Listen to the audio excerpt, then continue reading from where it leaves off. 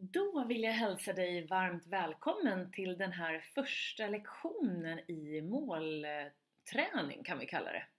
Eh, det börjar ju närma sig nyår och eh, du har säkert funderat lite grann på vad du vill inför nästa år, inför år 2017. Eller så kanske du sitter där och inte vet alls vad du vill. Oavsett så har jag ett verktyg som fungerar väldigt bra för att just hitta de mål och drömmar som du verkligen vill uppnå och sedan hur du ska göra för att nå dem. Och vi ska börja idag med en övning och eh, sen kommer vi följa upp det här en gång i veckan i fyra veckor. Och till slut kommer du då veta exakt vad du vill 2017 och du kommer också veta hur du ska göra för att nå dit. Bra va? Eh, innan vi börjar så vill jag gärna att du eh, tar det lite lugnt och landar lite här och nu. Så antingen kan du meditera eller så bara sitter du och djupandas några gånger. Och då kan du sätta dig bekvämt och så sluter du ögonen och så tar du ett djupt andetag och andas in på fem och andas ut på fem. Du kan också andas ut på lite längre än vad du andas in. Så du kan andas in på fem och så andas du ut på sex. Och så gör du det några gånger innan du börjar.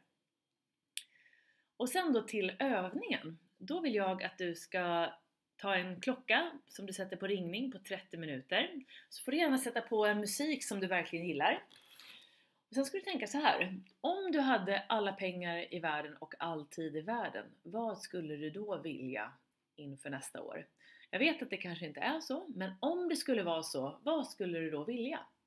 Vi tar alltså bort eh, de här hindren som oftast kommer utav tid och pengar. Och så vill jag att du börjar skriva ner precis exakt vad du kommer på. Det kan vara till exempel att du vill byta jobb, du vill flytta utomlands, du vill kanske ha en hund, du vill eh, uppnå fullkomlig harmoni, bli lite lugnare. Du vill kanske börja träna lite mer. Du vill eh, gå till jobbet istället för att åka bil. Du vill åka på en speciell resa som du har drömt om och så vidare. Så du skriver ner allt du kan tänka dig under de här 30 minuterna.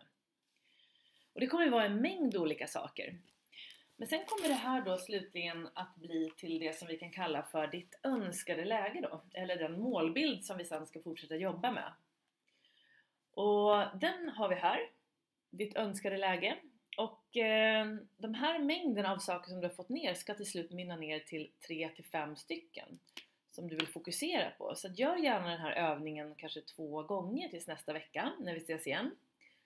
Och det här önskade läget ska du också då, då kommer du ha ett gäng saker här som då till slut ska bli 3 till 5 stycken.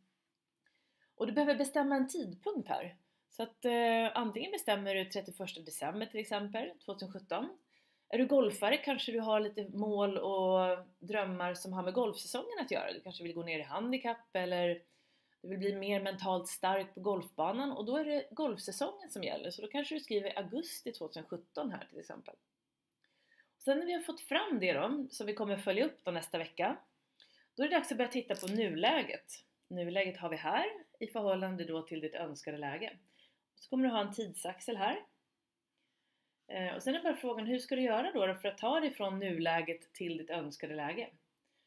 Det kommer säkert komma en hel del hinder som vi behöver få upp till ytan och analysera. Och genom att eh, få upp dem till ytan eh, och eh, så blir det mycket, så blir du inte lika rädd för dem. Det är det som är tanken då, att vi tar upp dem till ytan så att du kan analysera dem och sen till slut det bästa då att hitta lösningar till hindren. För det är, tanken är ju att vi ska kunna övervinna de här hindren. Så de fyller vi på här på sidan. Vilka aktiviteter behöver vi göra och vad finns det för lösningar eh, till de här hindren?